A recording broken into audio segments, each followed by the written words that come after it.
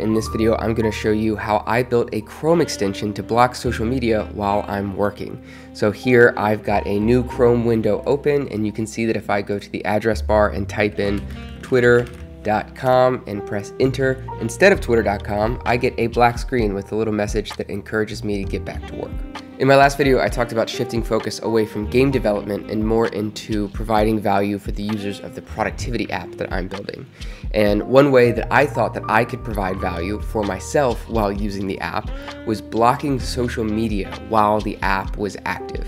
So I mulled over how to do this for a while, and I think the best way that I could come up with was to build a Chrome extension that would be able to determine which websites you're on and block problematic websites that are preventing you from getting work done. Now, ideally, the Chrome extension would only block social media while the Pomodoros were running in my application, but that was a little hard to figure out, and I think I'll explain how I did it in a follow-up video.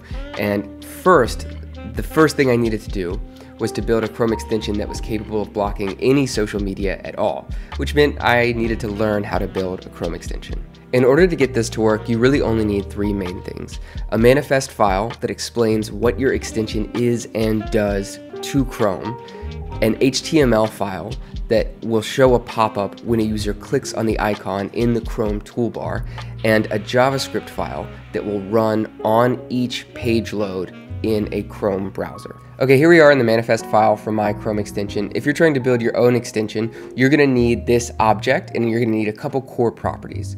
So first, at the top, I have the manifest version set to three. You're also gonna wanna set this to three if you're developing in the year 2023. Then you're gonna wanna have an entry for the name of your extension. The version will probably be set to 0.0.1 until you launch it and then version it with subsequent updates. Next, you will have an array of content scripts. And what this array does is it has an object that has two properties on it. On line 7, we have a matches entry on that object, and that is set to an array with a string of all URLs. And on line 8, we have a JS entry that also is an array that has one string named content.js. So what this is doing is explaining to Chrome that every time I open a new tab that matches anything in my matches array, we're going to run the corresponding JavaScript in our JS array. So for my extension, whenever you open a new tab, my content.js script will be executed. Everything else here isn't that important for basic functionality, except this index.html on line 13 for the default pop-up property on the action object. What that's gonna do is allow our HTML that we're writing to pop up when a user clicks on our icon in the Google Chrome toolbar.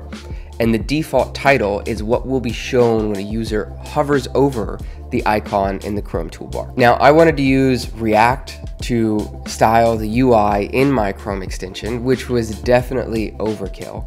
But because of that, the HTML for my Chrome extension looks like this. We have a head and a body with a, a, no script tag that just tells the user they need to enable JavaScript if they want to see the contents of that. And then on line 31, we have a div with an ID of root, which is how React is going to hook into this HTML file and display a React application. So finally, let's take a look at my content.js script. I have an array of websites to block here at the top of the file. And this is an array of corresponding strings that are the names of websites that I want my extension to block. Then I have a function called get focus time. What that's gonna do is query the local storage to see if there is a variable set to whether or not it is focus time. Um, but I'm not using that function right away. Instead, I'm creating a variable on line 20 called focus time and logging it on page load. So this will always be undefined initially, probably. Um, and then I have two functions here, block bad sites and unblock bad sites. So I'm calling on line 58 this block bad sites function. So let's take a look at what that does. Here, if it is focus time, which for me is sometimes true, um, then we're gonna loop over the domain of websites to block. So we're gonna loop over the array that I created here on line two. So as we loop over that, if the window.location.hostname includes the domain that we're looking at, we're going to create a new node using document.createElementDiv. div. So that's going to create a new node. We're going to add an ID onto that node. And here I'm just using test12345 to get it working. Then I'm going to grab the style property on that node and then the CSS text property on that style object. And I'm going to set it to a string value of inline styles. And what that is going to do is set this div to be absolutely positioned. The width and height are going to be 100% of the window. Then the z index is going to be 100 just to make sure that it's above everything on the page. The background is going to set to be a color of black and we are going to position it to the top left corner of the window. Then we're going to grab the inner HTML property on that new node that we're creating and set that to an inline string that is going to be a div with a style where the color of that text is going to be white. We're going to use uh, display flex to align the div here.